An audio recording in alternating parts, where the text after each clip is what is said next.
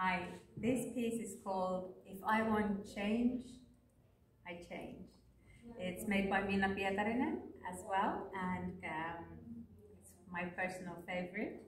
It's acrylic on canvas, and it is currently in our exhibition here in Hamina, and also for sale online. Thank you.